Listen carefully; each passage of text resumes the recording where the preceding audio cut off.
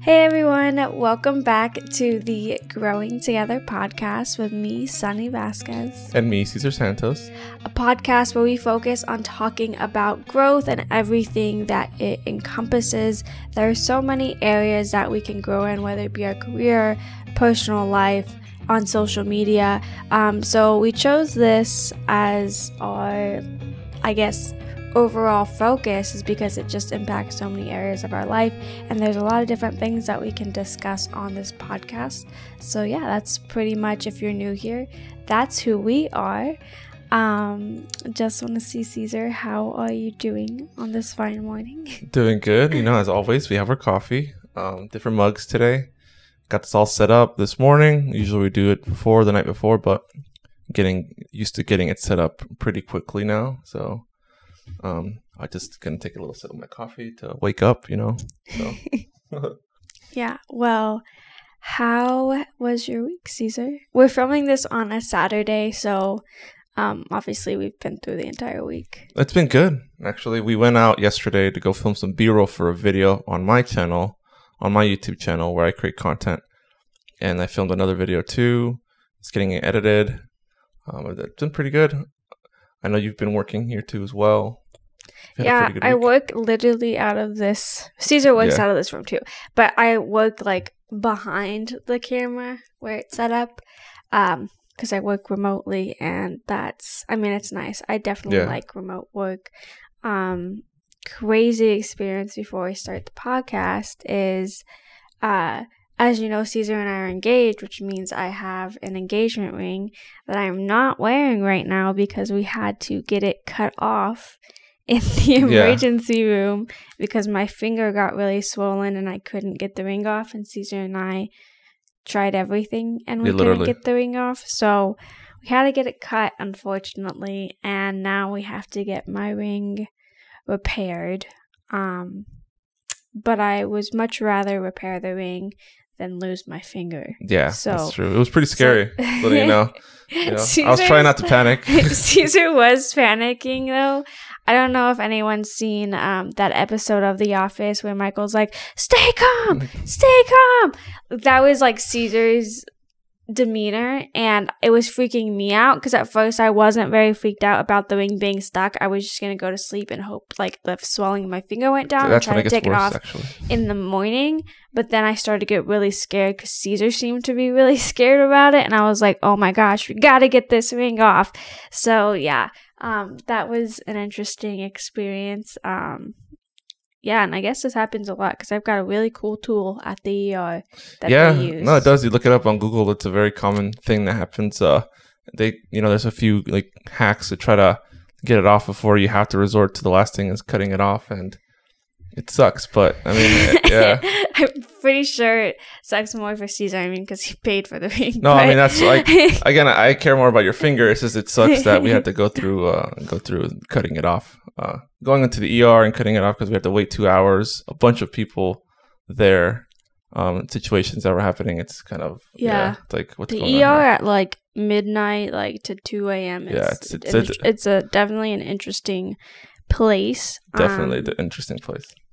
but yeah, so that was that was I think not the highlight. I mean, it was low light, I guess, of my week. Um, but I pretty much just did Low lights. a lot of work other than that. Um, I mean, you plan this podcast too. so, yeah, I mean, I plan yeah. I plan these podcasts when I have time during the week, um, like what we're gonna talk about. So, but Cesar doesn't know what we're gonna talk about today. But this I thought would be an interesting topic to discuss, and kind of the theme of today's episode is who are we and why are we here?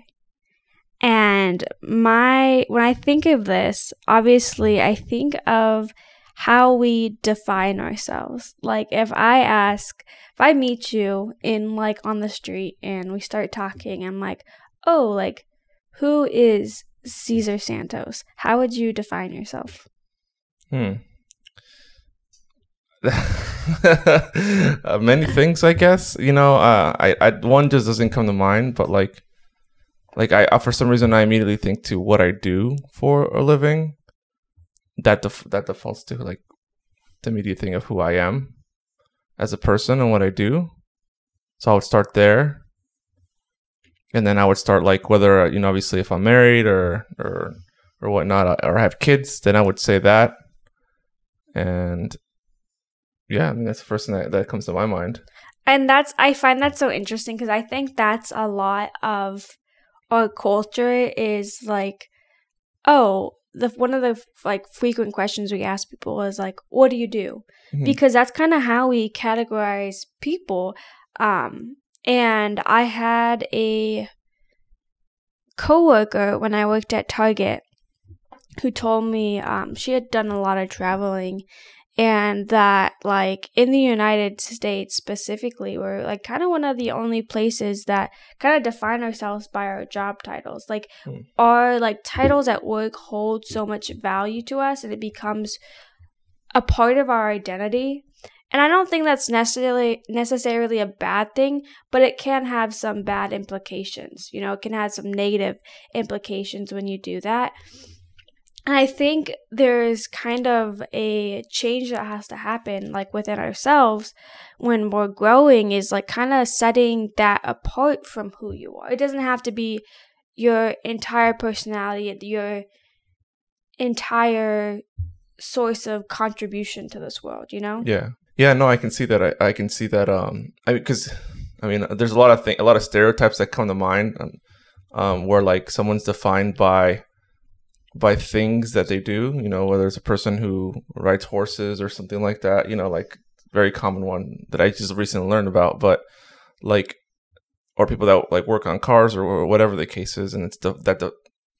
I mean, for them, if it if they want to be defined by that, I guess you know they want to be defined by that. But I guess what you're saying is that that can have a negative consequence.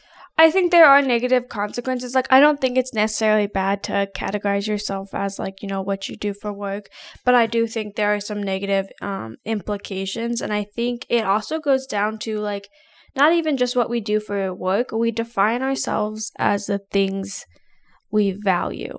Mm, so a lot of times we do that was we define ourselves with like our job title because we value the work we do, which isn't, again, it's not bad, but like, you know, when it becomes everything to you, like yeah. you've got to find other things that, like, you know, shape you as a person, as an individual.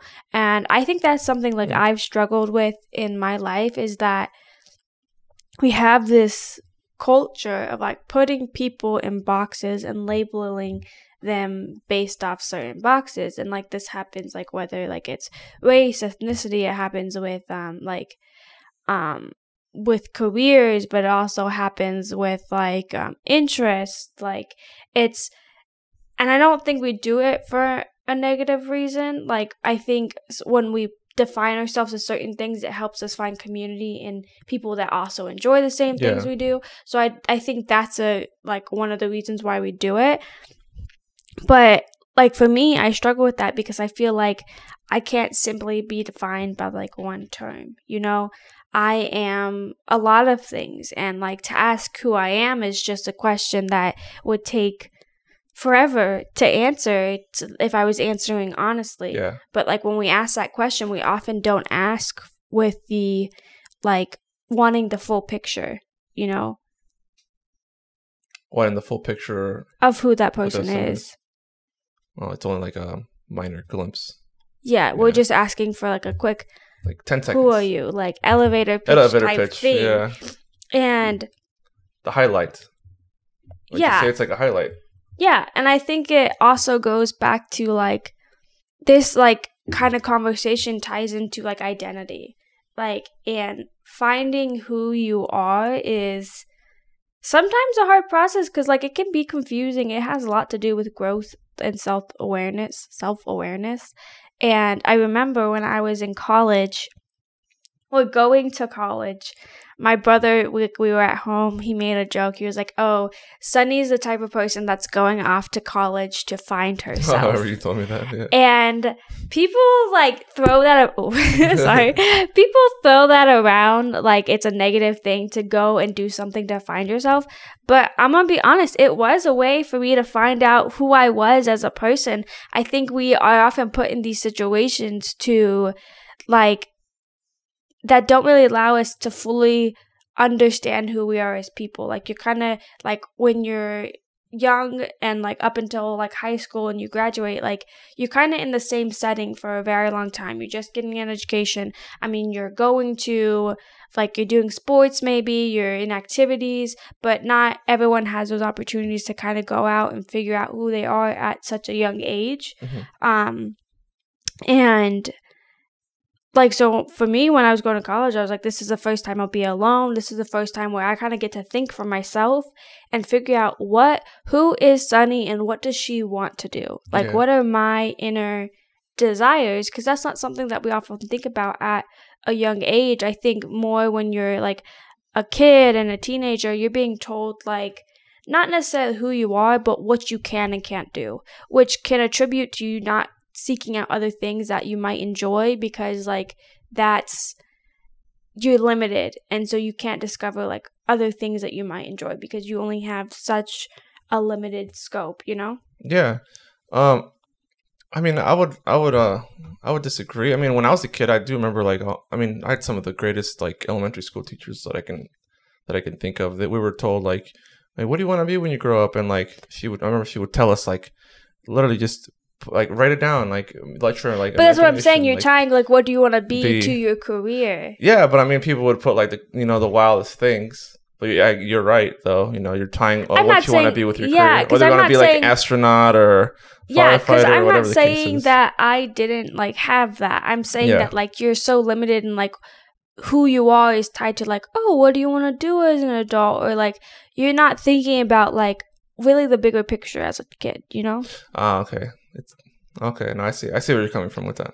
Okay. like you're not thinking like what is truly going to make me happy or like there's just so many things that you don't know to think about Yeah. and i think that that can be like a draw i don't know if jaw dropping is the right word but it can be a really scary but interesting experience when you're finally left out in like the world to your own devices to Mhm. figure out who you are as a person Yeah. and like or if who you are right now is who you want to be you know and i think that comes into um i think something that maybe we've all felt maybe you felt and i felt is that what if you identify the person you are right now isn't the person that you want to be Mm.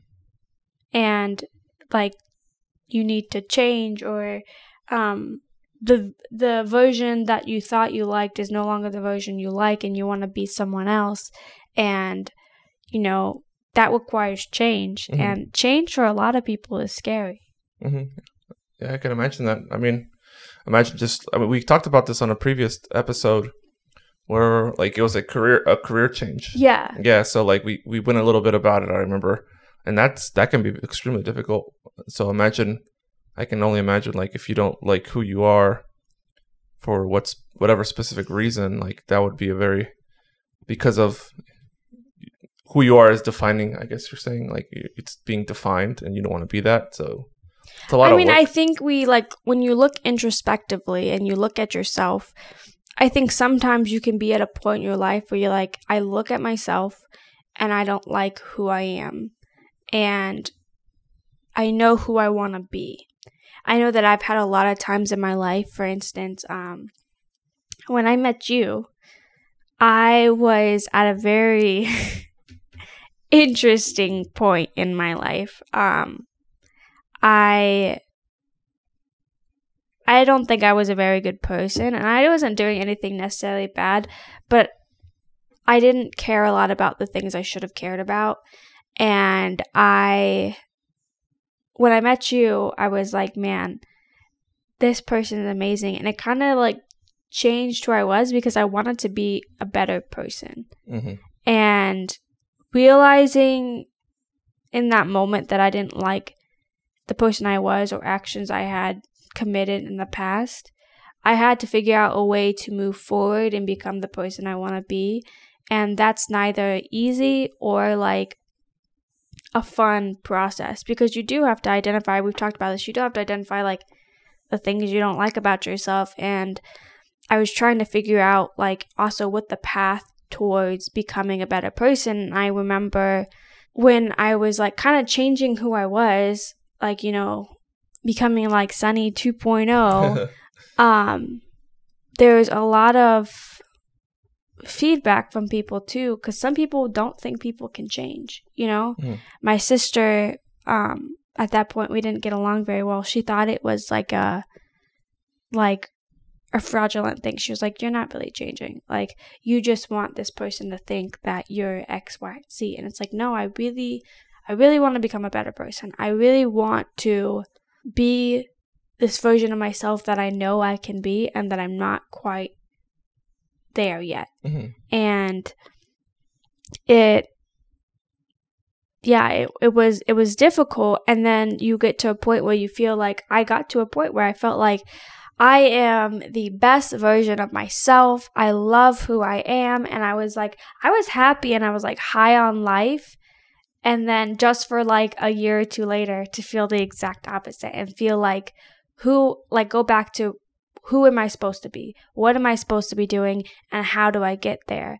And I I think about like a lot of times we look at our past selves, about past versions of ourselves, happier versions of ourselves, and think I need to go back to the person that that girl was.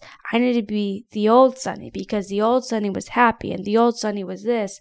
But I don't think it's about being that old version. I think it's becoming a new version of that version Mhm. which is kind of confusing. But it's I don't think we ever need to resort back to who we are, but just move forward and you know take those good things about like older versions, but also like continue to work on ourselves. Um, the thing about like identity and becoming who you want to be and like this like whole process is that there's a lot of kind of like I think feelings of like just feeling lost, you know? Yeah, and the pro- while, while you're trying to discover who you are. No, but I definitely understand what you're talking about. That last point that you made was like you thought that you want to go revert back to to who you were before. It's more of like an like a personal. It's all about growth. Like this whole podcast, like it's like an evolution. kind It's of like thing, yeah, you know? it's like, you're it's like. Pokemon. It's like Pokemon. Yeah, You know, like Pokemon. you become you continue to evolve into the different versions and some versions of you have characteristics from the previous versions but you're continuing to evolve and here's um you just made me think of something too um something i struggle with is that there are people in my life that have a version of who i was in the past that they love this version that they think is like worthy of love and that they see as like who I should be. Mhm. And then there's me knowing who I want to be and what I'm trying to work towards. And those two things don't always, you know, align. yeah, And that can be very hard on like the person that's dealing with it. Like for instance, it's been very hard on me because I like I have to realize I can't please everyone with who I am, you know. But I've also got to do what's best by me and not make my decisions based on who other people want me to be. that was the other thing I was gonna say. Is that Yeah. there's that other third factor where it's who you, who they think you are, who you know you are, and then who they, they want, want you you to to be. be. Yeah, because or they because they again, and it might be coming from good intentions because you know people depending on who they are in your life, they might have the best. They might be looking out for you, but maybe necessarily that might not be the best idea if it's something that's like it doesn't fit your who you want to actually be. I know? just don't think, even with the best intentions, it's no one's place to be like, this is who you should be, or this is what you should be working towards. Because, like, what if that doesn't align with actually who you know that you can be, and you're going to be just as good of person if you uh, if you follow what you want to do. Oh no, that's know? what I'm saying. It's that that you can't. If for ex- I mean, I always I refer again. I refer back to like job titles. Like, let's say you want to be because you love doing whatever it is X Y Z, and you want to stay doing that. But then some people are telling you, well, no, your actual next step is is is like something that you're like you never saw yourself doing. Yeah. And some would say, oh well, you know, part of growing is getting uncomfortable and getting uncomfortable doing like what what you're not like used to doing. You've heard this before, right? Like, and I get I get that, I understand that, Uh, but I guess what, what I'm coming at from, with this is that if the, if the person isn't comfortable and realizes like no like that's not that that's not the it's not it's not that they want to stay comfortable in what they're doing they're going to continue learning more and more about that role that they're in and maybe get even better and maybe train people one day but like if you're continually pushing someone in a different direction they can confuse them and be like okay so what do i want to do what, what, what does what do people want me to be and then next thing you know you don't even know what you're doing anymore Yeah, you feel like you have to. I think it goes back to like people pleasing too. Is like I Yeah. know that that's been my struggle. Is that I am like a chronic people pleaser. I just I've come to understand I can't please all people, but that hmm. doesn't stop my desire to make people Yeah. happy. And sometimes what's going to make other people happy isn't what's going to make me happy. yeah And so when there's that like misalignment in your life, Mhm. it it can cause for like stress and a lot of anxiety and a lot of like what the heck do I do? Like who am I and like what is going to result in like me being happy? yeah But it can result in a lot of self-doubt. I know that I've felt like I feel like I felt a lot more self-doubt recently. Um with all this because I feel like this is exactly kind of what I've been I've been experiencing in my life lately. Um, the search of like who I'm supposed to be and who I am, and you know all those things. And um, I realize a lot of like the outcome results in me like doubting myself and what I'm doing and who I am and if I'm a good person. And it's like this spiral of emotions that you feel. And sometimes it's just hard when when you don't have like that like confirmation that you're sure of yourself. Yeah. And if you're not sure, you're going to continue to spiral. And people do that. They get stuck in like a loop, you know? Yeah, just a loop of like going back and forth. And I think that's my fear is like getting stuck in that like like that feedback loop of just Yeah. doing the same thing and expecting the same results. You know, they say that's um that's only crazy thing. That's the definition Definition of, of crazy. Yeah, insanity Uh, yeah. is like doing the same thing over and over again and expecting different results. Mhm. And um I feel like I've definitely been guilty of that in my life of like just doing exactly that and I'm definitely trying not to do that anymore. Um but I think that something that comes about this as well is how do we know when we're doing the right thing? How do we know when we're finally on the right path or what's going to make us happy? I think personally, I think that there is um there's usually um when you know you're doing the right thing, there's usually some sort of um you know f- fruit from that labor. There's something that's gr- that can, that's growing from what you're doing. So like if you're you got a new job or or whatnot, you feel like hey like what I'm doing there's there's uh, fruitful things that are positive uh, in whether it's in your life or in the life of the people that you're working with or the people that you're that you're that have that you're with in your life. There's positivity in a sense, like growing from that. Um, and that's one that there's like there's signs to like showing. There's signs that you can see, and but there's stuff there's stuff that you might not be able to see, like months or maybe even years down the line. Yeah. Um, but uh, I, I mean, but then I wouldn't want to say you want to resort to t- people telling you that you're doing better because they could yeah, be biased. Yeah, that's the and thing then- is like yeah. it's like outside people. I think it has to come external, from within. internal factors, and uh, there's external and internal factors. You Yeah. know? so it's like you gotta also have people that you can trust to tell you these things, and then yeah, I mean, it all really depends on your circle of influence that's around you. Um, but personally, I think that there's if there's fruits in that labor that are good, they're good. They're, they're actually like they're not bad, but they're actually good things happening um, that you can define. I think that's one way to see like you know, oh wait, like I think this is good. Like I'm actually making something from this or whatnot. So that's what I think at least. Yeah, sorry. No, sorry. I just got like like really confused. Like you kind of went on, and I just didn't really understand. No, all I was, saying. okay. So I'll, re- I'll I'll revert back. So basically, what I was what I was trying to say is that there, if you know you're on the right path, there's something good that you can actually define that's good. Like, and it's like leading towards whether it's a goal that you have hmm uh, in your in your life for like, let's say you wanted to change. You're like, oh, I want to be a better person. So what do you do to be a better person? maybe you start looking deep inside of you and seeing like, oh, what makes me a bad person? And then you change that, and then you see like, oh, I, after I changed this little thing, more people started to. And then again, it's an external factor. Yeah, I But then like the there's external ev- factors, But I just then- think that you can't take the external factors so Seriously, seriously because Mm-hmm. they can be like I mean then you, it goes back to seeking like external validation and Yeah. that's something that's not going to be healthy in growth.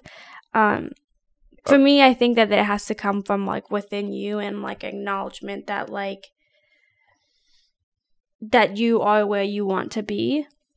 I think at the end of the day that's what it com- when it comes to who we are as people, we think about like what we want to do and who we want to like how we want to do it and how Yeah. we're going to get there and I think when it comes to knowing if you're doing the right thing, it's like okay, well, I'm here now. This is what I wanted. How do I feel? Because I Yeah. think sometimes we we have these plans and it's like, okay, I want to do this and you do it and you're like, hmm, that's not as that like was what I that wasn't exactly what I thought I'd Yeah. feel, and so like you kind of go back in this process of like starting over, um, from square one of like, okay, well, I thought this is what I wanted, but what do I actually want? And so I think like this is something that we don't just do like once in our life. It's like a continuous process, and it's okay if we get it wrong. You know, it's okay if you thought that this is what you want to do, this is who you want to be, and you get to that point where you feel like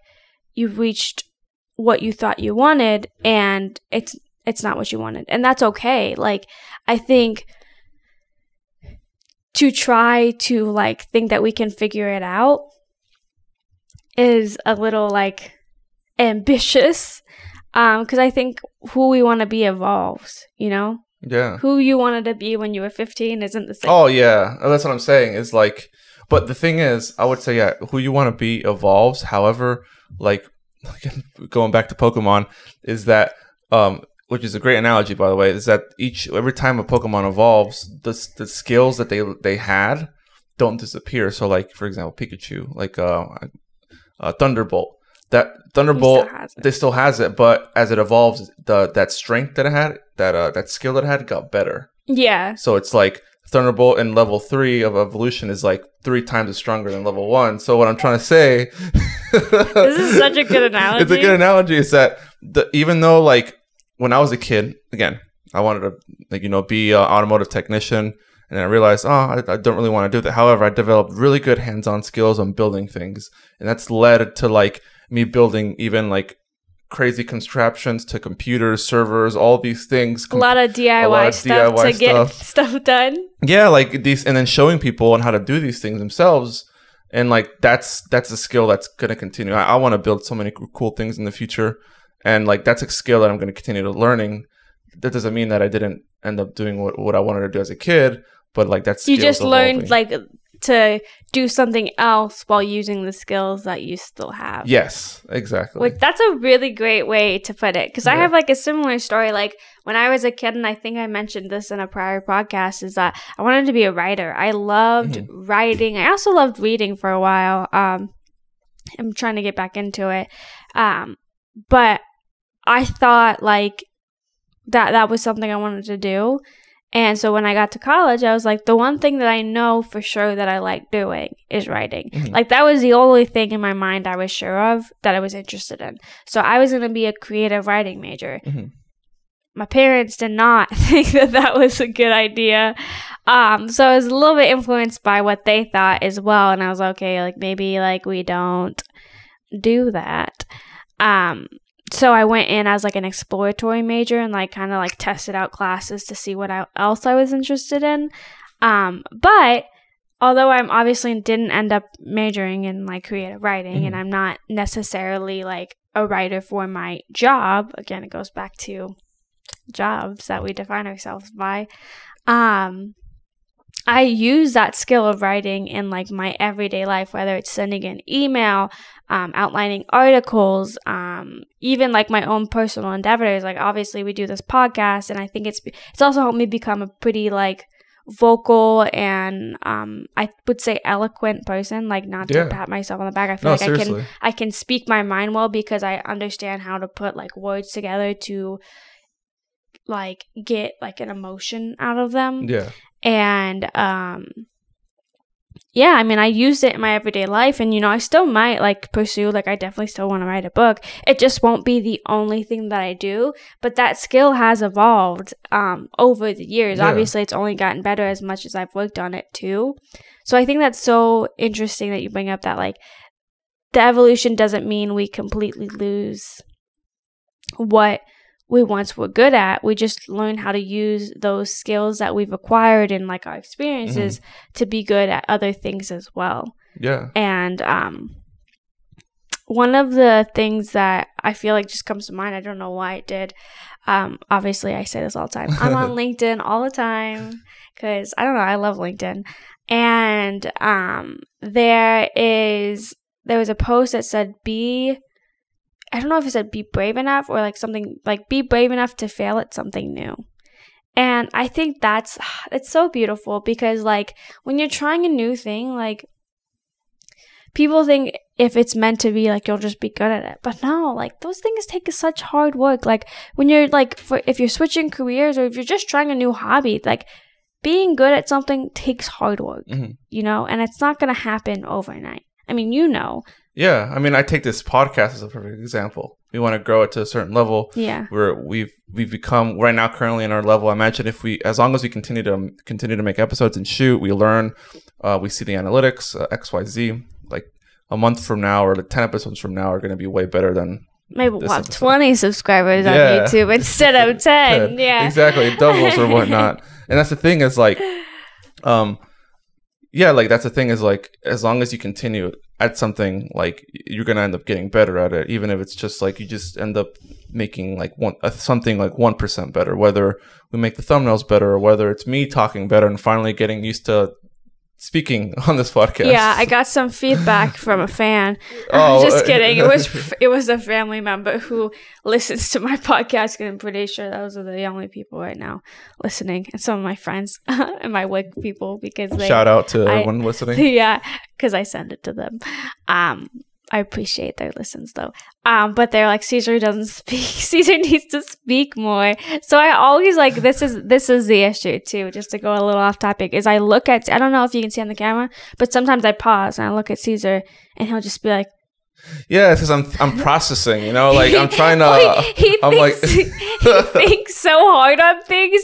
Like so, when I ask him a question, he's like, like a deer in the headlights, and it makes me laugh because for me, it's very easy to like to start to come Mhm. up with an answer. Um, but maybe me and Cesar will do some practice off camera. Because the thing is, I Cesar and I like have like these kind of conversations. Yeah. I feel like on the daily, you know, we'll go and sit in a coffee shop or we'll have dinner Yeah. and we'll have great conversations. So Cesar's a good conversationalist, despite what you may think based off this podcast. He is a really good conversationalist, but like he gets so nervous when you put the microphone in front of him, which is funny because he films YouTube videos and he's gotten a lot better with his videos.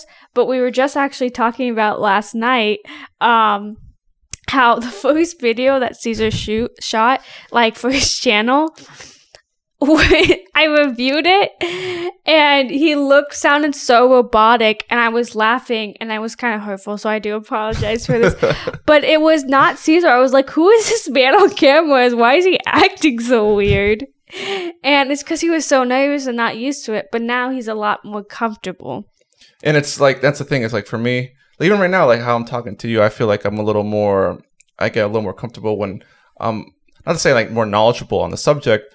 It's just that I want to make sure that I say something that is valuable. But maybe I Yeah. should maybe but maybe I shouldn't be always thinking that way because then I yeah, get I stuck think you in like never know "Oh." what could be valuable to someone too. I like to say like a lot of things because I never know what's gonna someone's gonna what's gonna stick with someone. Like I think Yeah. about like to a lot of my teachers, like some of like the most random things they stuck stuck to me, and I'm not sure they were thinking about that in the moment. yeah. So I think like that's why I'm like just have a conversation because you never know what's gonna stick with someone, um, or how you can impact someone by us just having this like vulnerable, organic conversation, Yeah. um, about these things. Um, I mean, it's part of growth, you know. No, it is just part a of growth, part of yeah. like you know I also think part of finding out who you are too. yeah, well. So, exactly. Like finding oh, that's a good that's a good segue. Thank you. Um finding your voice. I think that's something Oh, when you're finding your identity, finding your voice. I was just talking to my mom about this yesterday. Um I told her I was like, you know, and my mom said it too. I've mentioned this before. I've always been labeled as a very emotional person. And my mom, it's crazy, and this is how I know my, my mom's daughter, is she was saying these same words to me without me even having this conversation with her. She goes, I've always been labeled as emotional with my heart on my sleeves. But that emotion isn't emotional, it's passion. And I was like, finally, someone understands because, like, I'm not emotional simply because, like, I'm a crybaby or because, like, you know, I get angry. Like, I feel all emotions so deeply because I am fueled by passion. When it comes to certain subjects and topics and things that, like, I like, there's just passion. And that passion is a mixture of emotions a lot of times. Sometimes it's sadness, sometimes it's anger, sometimes it's happiness. And um for a long time that was something I was so ashamed about with myself. I hated that part of myself and I also I tried to hide it and I also let a lot of people walk over me. I did not have a voice when I was like a young adult and like a kid or a teenager.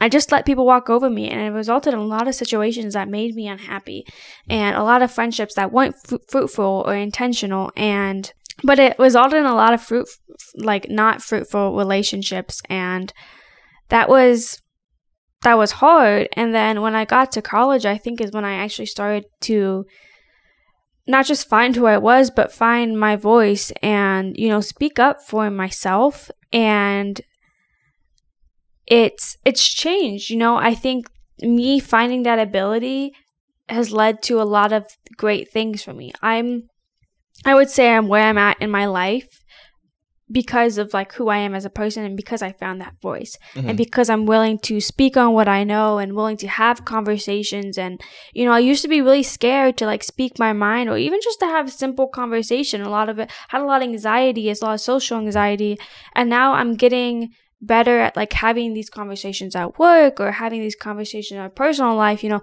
you and i have had to have a lot of difficult conversations that i did not have experience having before. Um so i think finding your voice is such a important part of who we are and you know our identity you know? Um, that that finding your voice is really what makes you how we were talking in the beginning of uh, who you are when you when someone asks you like who who are you or what do you do or whatever the case is. So I mean, being being able to identify that voice and maybe even when you're telling someone about these things like being able to be vocal about it like can show to people like oh wow like that person is really passionate about that yeah you know about that specific And I think thing. sometimes people don't want to because of a fear of like what people will think. But at the end of the day, like, you know, we all have should be able to be like like heard out. Like I don't know if that makes sense, but like we should hear other people out, you know, and like what they have to say and um yeah, I just feel like that that was like a game changing moment in my life was just finding my voice and I think that really out has helped me, you know, grow in a lot of ways Mhm. because um you've got to advocate for yourself too and what's best for you and you can't do that without a voice. And that's what I wasn't doing before. It was advocating for myself. Mhm. I was just letting people do whatever they wanted to me and treat me however. And now with this voice, I I don't allow that and I've realized like what I can and cannot accept in my life and that's not something that a lot of people without voices do or don't feel like they have a voice.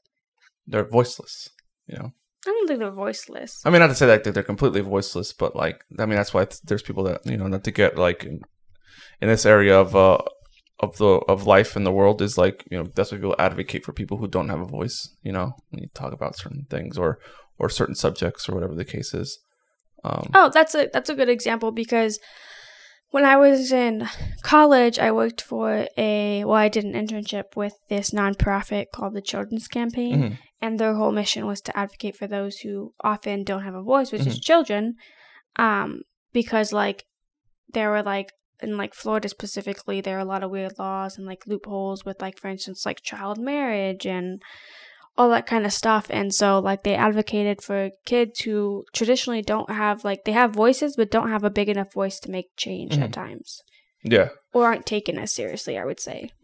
Yeah, I remember when you used to work there and like all the stuff that you you worked there for free basically. Actually, you were interning. Yeah. You were interning there, but But yeah, I worked there for free. Um, that was the other thing. I think internships are a scam, unpaid internships. Mhm. But you know, that's just my hot take. um, but yeah, it's just um, you know, your voice is important, and we all have the right to one. And you know, I think that it's okay um to you know do a little soul searching, like reevaluate yourself and not do it based off what other people think you should be. I think that's the most important thing is that at the end of the day, the only person that needs to be happy with you is you. And sometimes, like, changing that isn't gonna happen overnight. Most times, if at all, it's never gonna happen overnight. I know that um, I'm still a work in progress.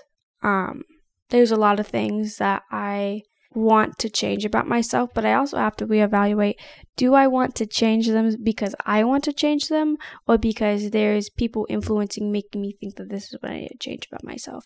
I think that's another distinction that needs to be made too. And that's hard to kind of like sometimes it all gets jumbled in your mind, you know? yeah. Like it's like, okay, do I actually not like this about myself or do I not like it because other people don't like it? And this is something, this is a quote that I love and I've heard so many times is like I am not gonna make myself smaller just because like you can't handle it. I don't ah man, I need to look up the quote. I'll find it. Yeah, we can You can pause it Um, here. no, we don't need to pause. You can talk. You can do some. What do you think? I mean, I was gonna say. Oh, oh. sorry, Jonas Brothers video is playing. no, I was gonna mention um ha- that know that yeah, you're right that that there is um I think when someone wants to if you're being if you're being again these were the external factors I was talking about like if something externally is telling you um not to say that what that external factor is uh, can be right or wrong but it's up to you at the end of the day to realize whether that external factor is right or wrong and you have to uh you have to uh, there's a word I can't think of it right now. Basically, you just have to like not test it out, but you have to like think about whether that is right or wrong. Basically, like, I can't think. There's a word that I just can't think of right now that basically summarizes that. Like you have, just have to test it out and like like oh, if someone's saying X about me. Is that really right or wrong? Like, am I? Because like for example, if what you're what they're saying is wrong about you, if it's hurting yourself or a bunch of people, like maybe they can be right. Maybe Yeah. they're they are right about that. Like especially if it's something that you're physically doing, but if it's something like that's not physical, it's more like you know uh, in you, then yeah, that's different. Well, a good example would be like, oh, this person like talks a lot. They should talk less. Like that's not valid input. Like it's like what makes what how is them talking like about like an issue. Like, you know, and I think that comes like this comes Oh, back okay. to the um the quote that I have. Mhm. It says, "Don't make yourself small so others feel more comfortable." Um you know, a lot of times like people want ch- other people to change around them because of like comfort Mm. like making it more comfortable for them. But like, for instance, if you're someone who's just outspoken and has a voice and is willing to speak up when things are wrong, like that's not a bad thing. If people are uncomfortable with that, that's not a reflection of you. That's a reflection of them. And I think that's something that you have to think about when you're growing and you're learning is like, is this is this a reflection of who you are or a reflection of who the person saying this is? Mhm. you know? And so it can be hard to do too. Like obviously you always want to look at yourself. Um I like to think that I like like brush through myself with like a fine fine tooth comb to see like everything. Like I want it all out on the table. Um and you've really got to do that like we've got to go in recognizing yes, we all have faults. And we've got to be willing to work on the things that obviously do hurt other people um, or aren't like the best for ourselves. But at the same time, like, you've also got to realize, like, is this inherently bad or is it just something that does, makes people uncomfortable because they have other issues, you know?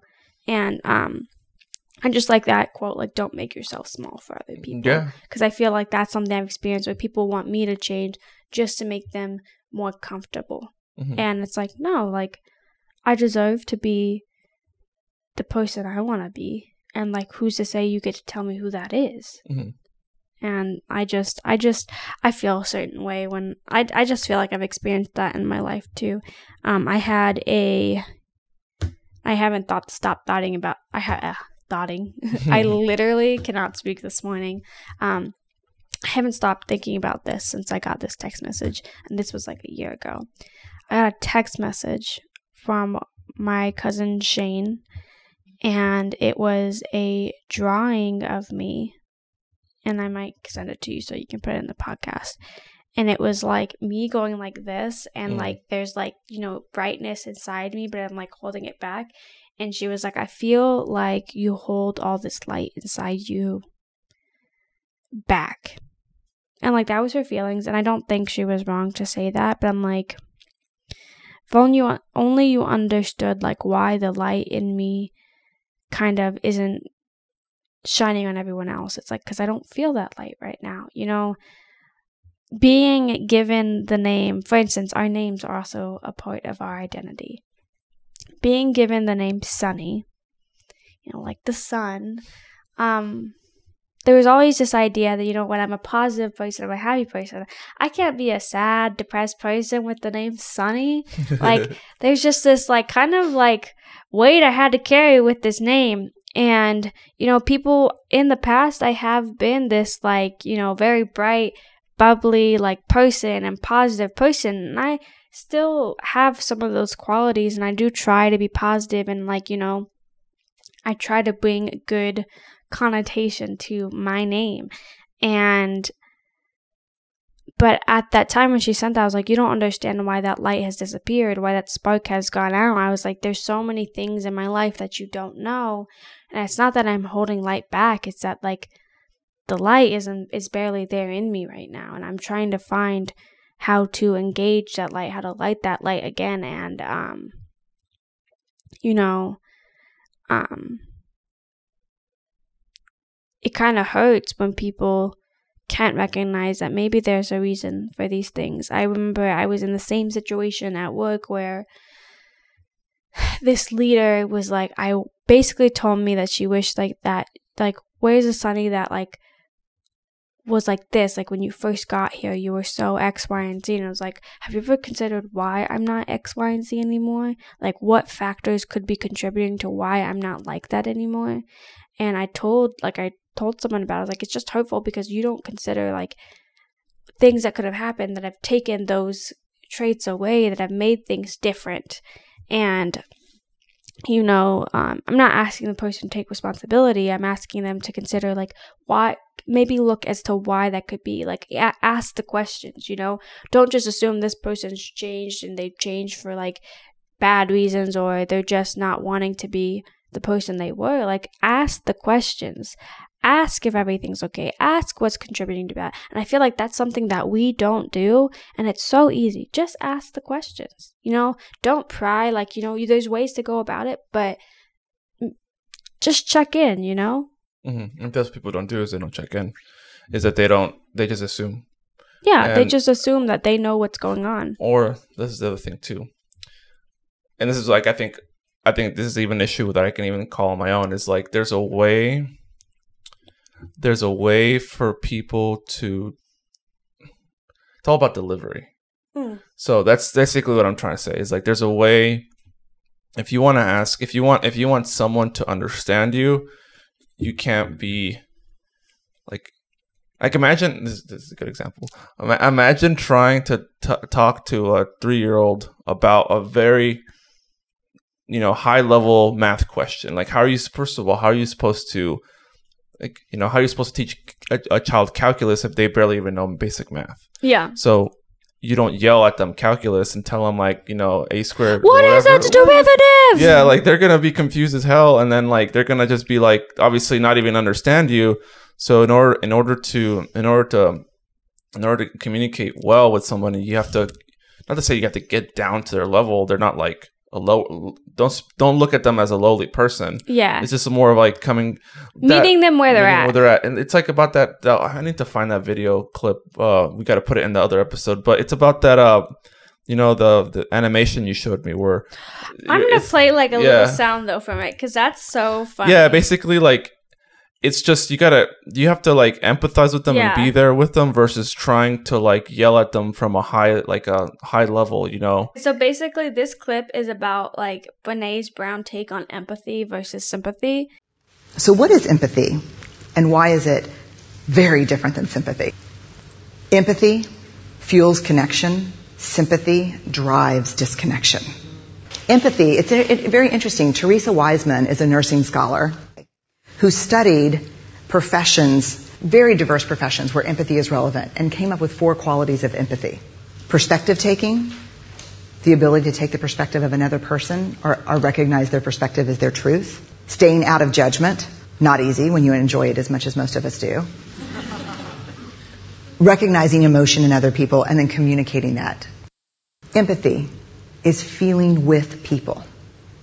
And to me, I always think of empathy as this kind of sacred space when someone's kind of in a deep hole and they shout out from the bottom and they say, I'm stuck, it's dark, I'm overwhelmed. And then we look and we say, hey, climb down. I know what it's like down here. And you're not alone. Sympathy is, ooh, it's bad, uh-huh. Uh, no. You want a sandwich? Um, Empathy is a choice, and it's a vulnerable choice because in order to connect with you, I have to connect with something in myself that knows that feeling. Rarely, if ever, does an empathic response begin with at least. I had a, yeah. And we do it all the time because you know what? Someone just shared something with us that's incredibly painful, and we're trying to silver lining it. I don't think that's a verb, but I'm using it as one we're trying to put the silver lining around it. So I had a miscarriage. Oh, at least you know you can get pregnant. I think my marriage is falling apart. At least you have a marriage. John's getting kicked out of school. At least Sarah is an A student. But one of the things we do sometimes in the face of very difficult conversations is we try to make things better. If I share something with you that's very difficult, I'd rather you say, I don't even know what to say right now. I'm just so glad you told me. Because the truth is, rarely can a response make something better. What makes something better is connection. I like love that so much. Um, and it's funny is that the reason I came across that video was an empathy training at Target. Um, but that is something that stuck with me because it's so right. Rarely does something like helpful start with at least. And I feel like that has been a trained response for people for a long time. And we we previously didn't live in a very empathetic world, and now people are becoming more of the difference between empathy and sympathy. It used to be like, "Oh, be sympathetic." But really it's like if you break your leg and I say, well, at least you got one good leg, that's not going to make you feel better. But there's also a recognition that maybe there's nothing I can say that can make you feel better. But I'm like, I understand your emotions. Please come to me if you're feeling any type of way. It's like recognizing that maybe there's not things that you can do to fix it, but there's a support that you can give and there's connection. I think that's my biggest thing. And I feel like me and Cesar talk about this all the time. Yeah, we do. I know, I know I've brought that up before. Um, but it's, I mean, it's true. And, and like, again, I, part of what I, why I was bringing that up was because um, if you really want to, whether whether it's you want to, um, I mean, I wouldn't say sell a message, but I mean, a lot of corporate America does this is they create advertisements around empathizing people, whether you agree with the message or not.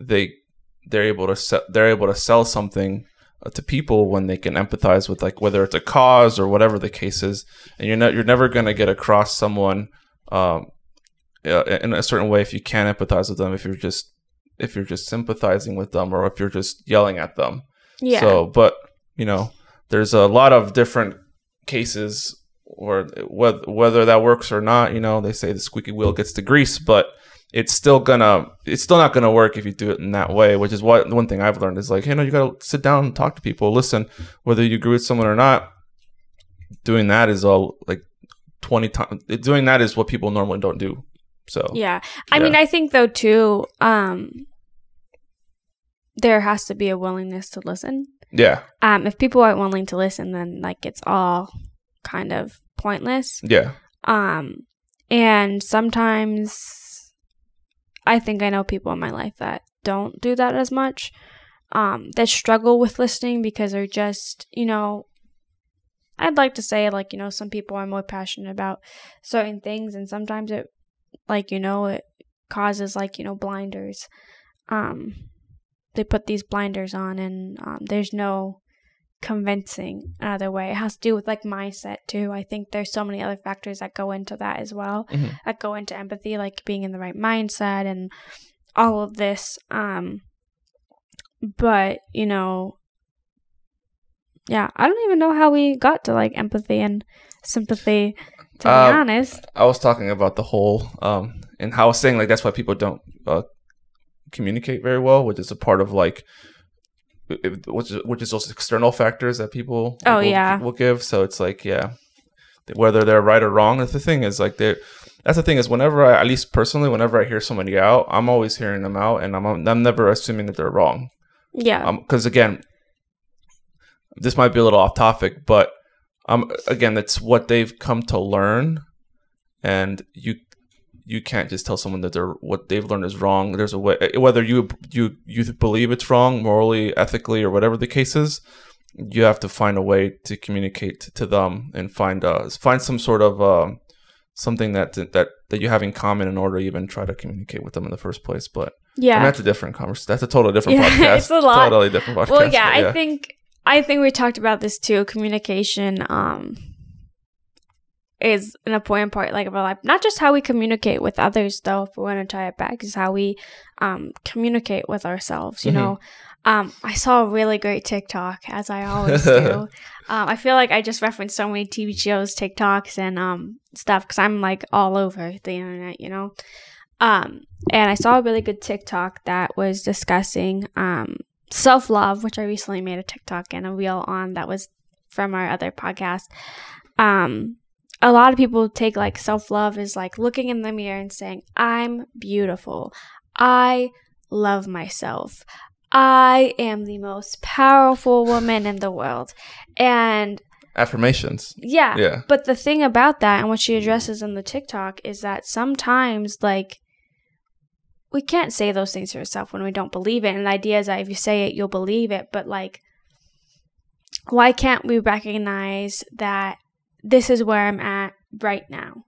Like, you know, I don't necessarily love myself right now, and it's okay to struggle with that. It's you shouldn't feed yourself lies either. Like if you wake up and you say, I love myself simply because you think that that's going to make you love yourself. Like, but in that moment, it's not true. Like, why Mhm. would you lie to yourself too? Like, I think recognizing that, like, for recognizing in the moment that you don't, it's like, okay, well, why? And then pinpointing the issues as well.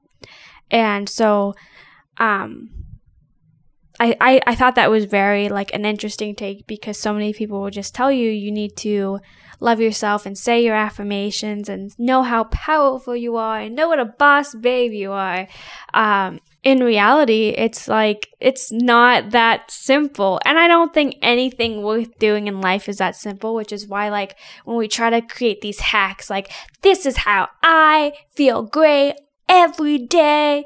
Um, it's just kind of ridiculous, you know. You know, um, I was talking to one of my coworkers, Alyssa, and Alyssa, if you're listening, you are just incredible. I love her. Like me and her, we get along so well. Like we're so alike. Um, she's also so uh, she has so so much great insights insights insight. I don't know what's up with my words today. I cannot speak. Um she has so much great insight and i feel like i can for one trust her to tell me the truth. Um but she's always got such great advice. Like she's so smart.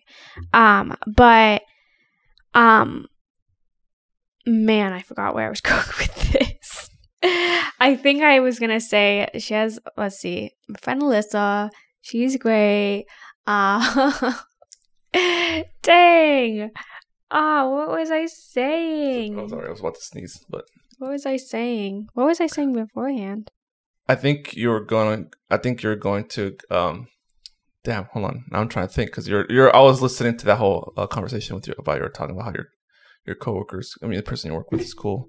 Um, damn. damn Hold on. I felt like that was going to be really good too, and I can't remember for the life of me what it was going to be. Because we were talking about, you know, self love and self affirmations. And I want you to keep all this in, by the way. Just Yeah, I'll keep it in. fine. Yeah. It's fine.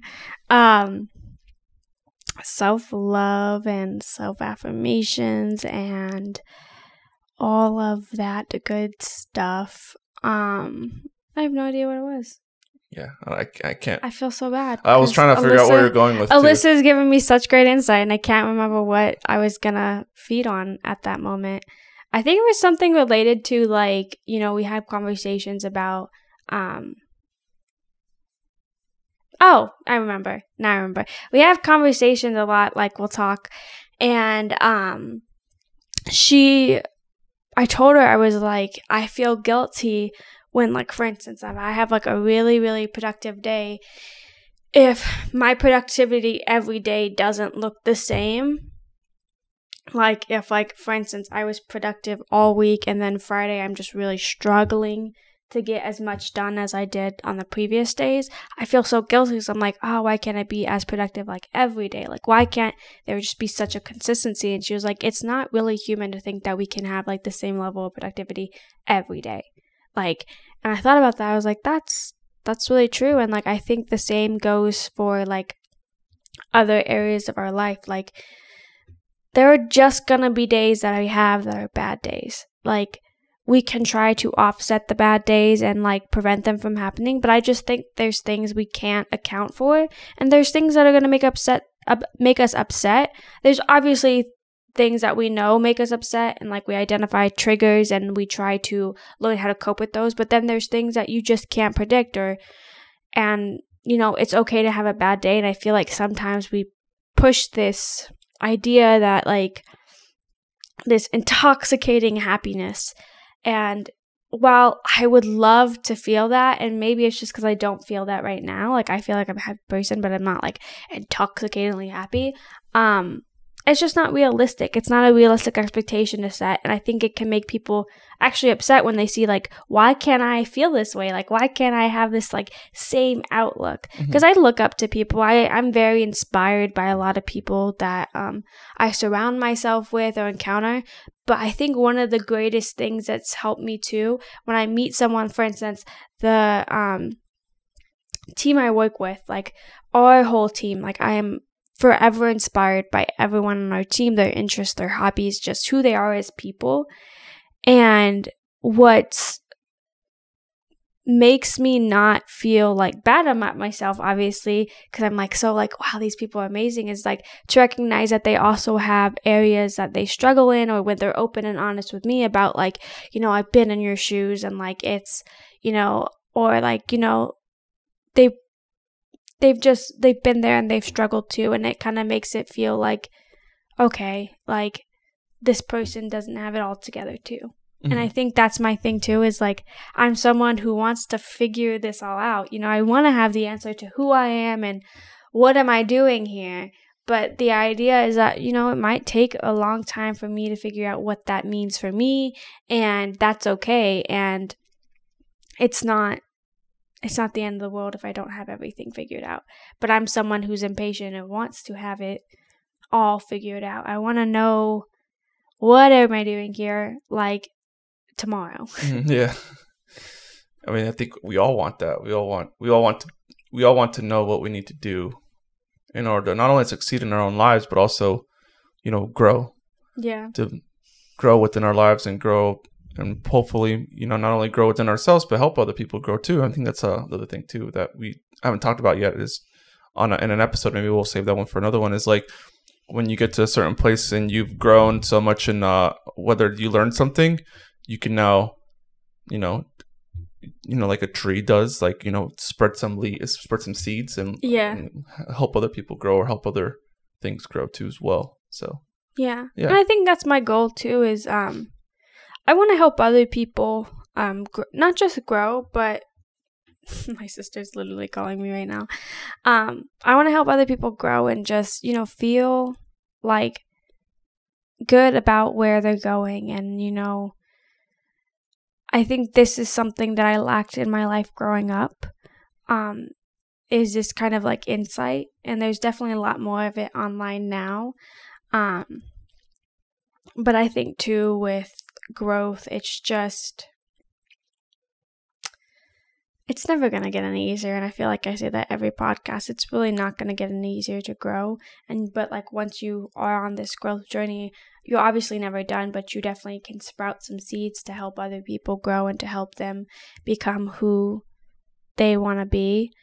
Um yeah it's just it's just it's just crazy. It's just crazy how the how the world works and how growth just the process we go through and how many times we go through go through this. I'm sure like in 5 years i'll feel like i'm in a different place as well but still trying to you know reach whatever goal i have then. Yeah. and um you know i think as like humans we want to search for this level of comfort in our lives. And it's like once i get here this is when i'll be comfortable but then there's something else we want and then it's like okay once i get this then i'll be comfortable and then once i get this uh, then i'll be comfortable.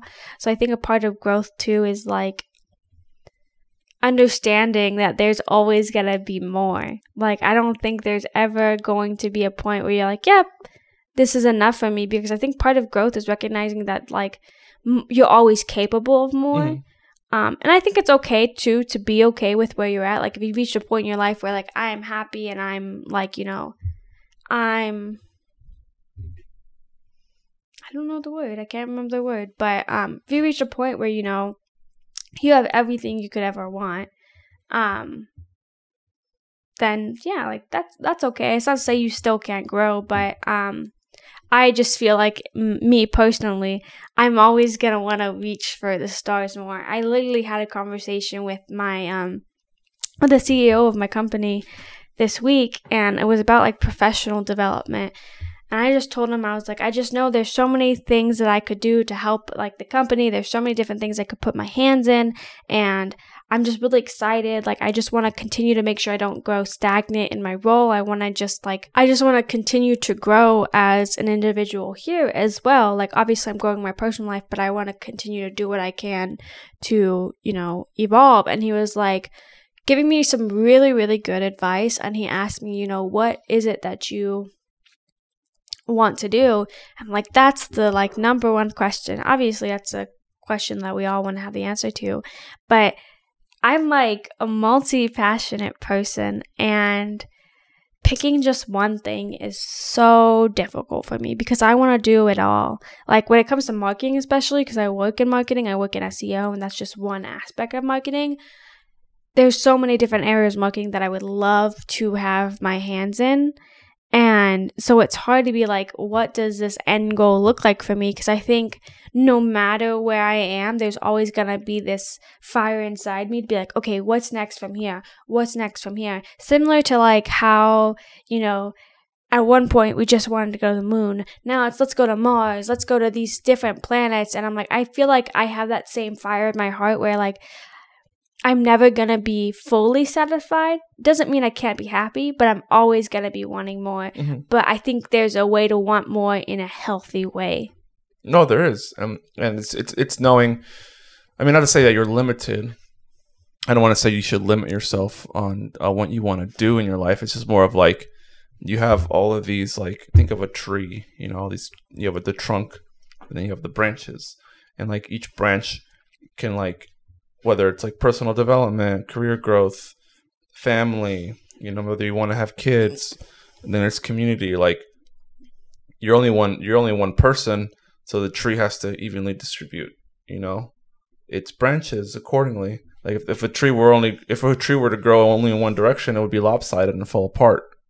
You know, that's why it, it, it based on, you know, the the sunlight it gets and all the energy that I can that it has in a day. You know, talking about like our how much we can do in a day. Yeah. Um, it grows evenly and it spreads to these different parts of the tree's life accordingly. And I, I use that as an analogy because we if we overdo certain things, if we try to do too much, then we're gonna we're gonna in a sense we're limiting ourselves with trying to do or attempting to do a million things at once, and you don't you, it, you it's very difficult to grow that way. You're only one person, Yeah. so yeah, even when it comes to your role like that, you know, you're only one person too at the end of the day. I'm technically two people though, Oh yeah, technically, you're right. because I'm a twin. Yeah. There's Yeah. two of me out there. But yeah, I think, you know, if you're hoping that we answer who are you and where why are you here, um we don't have the answers. I hope that these, um, what we said in today's podcast, is a way for you to find an answer. Um, I think at the end of the day, if I had one last thing to say about it, would be just to what uh, something that leads you to your answer is as long as it's is uh, it's positive. You know, it, it can it can help people. Obviously, helps yourself. I think that's one way to find out who you are. You know, I think um, we lack we, we we need more of that in the world today than any than any time at least in my opinion like we need more more things that people find themselves either what they do if you want to describe that of who you are or, or who you are as a person like it can really help out I think my last little bit on like who are we and why are we here is um I don't think you need to label yourself too. Like when I think of myself, I think of myself as so many things and I think that's okay. I think you have the right to be whoever you want to be and if that's like if you attribute a million different things to yourself, that's fine too. Like it's I don't think there's an answer, a one-worded answer, you know. Like this is who I am. I just think you need to make sure you align with who you want to be and not who the world wants you to be. And also, like, not put too much pressure on yourself to, like, tie your worth to your job role or something else in your life. Um, because we so often we do that like our worth is defined by how successful we are at work and i don't think that um we need to do that. And um yeah i think that um you know this whole growth journey is a process of finding out who you are and what your purpose your individual purpose is here. And it's okay if it takes a while to figure that out. Some people don't figure it out for a long time and there's no shame in that because this is a long journey. And you know even at the end of it we might not have all the answers. And sometimes it's okay we have to be okay with the unknown. Yeah. But yeah that has been the growing together podcast with me Sonny Vasquez. And me Cesar Santos. We hope you uh, join us next week on our next episode. This is always available on youtube and all spotify and Apple Podcasts, all the streaming platforms. So um, we appreciate you for listening, and yeah, thank you guys. See you later bye.